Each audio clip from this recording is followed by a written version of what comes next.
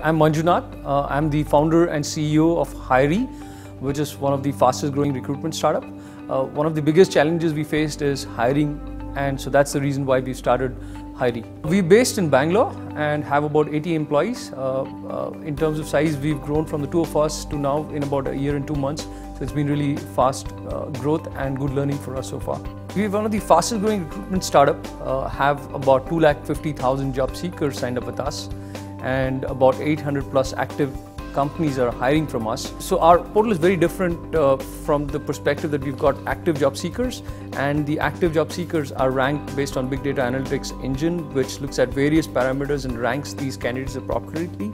The biggest challenge in the industry prior to you know starting off Hiree was being able to hire quickly by looking at active candidates who can who are available all through uh, because most of them do not remove profiles and so one of our big differentiators is we keep active people only and keep them for a duration and uh, rank them using the big data analytics so you're getting the right kind of candidates upfront. My name is Abhijit and I'm the co-founder at Hiree.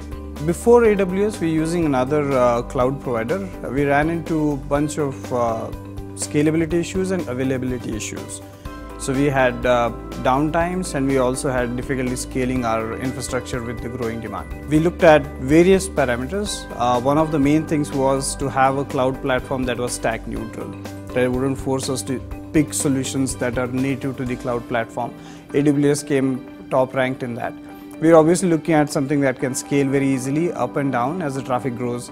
Uh, those were the two main technical considerations. For a business, it's important to be to be super reliable right? We couldn't couldn't have downtimes during uh, peak hours and that was that was another important business consideration. We use a whole range of aws services. We use route 53 for uh, dns we use cloudfront so that we can serve, serve all static content fast in india. Uh, we use the EC2 instances to run all the logic.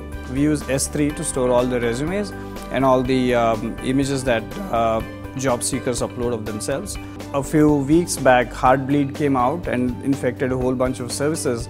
Uh, since we're using Amazon Linux, the uh, patch was deployed automatically and we didn't have to worry about actually going ahead and fixing it ourselves. So while we were sleeping, the security vulnerability got fixed and it was pretty phenomenal.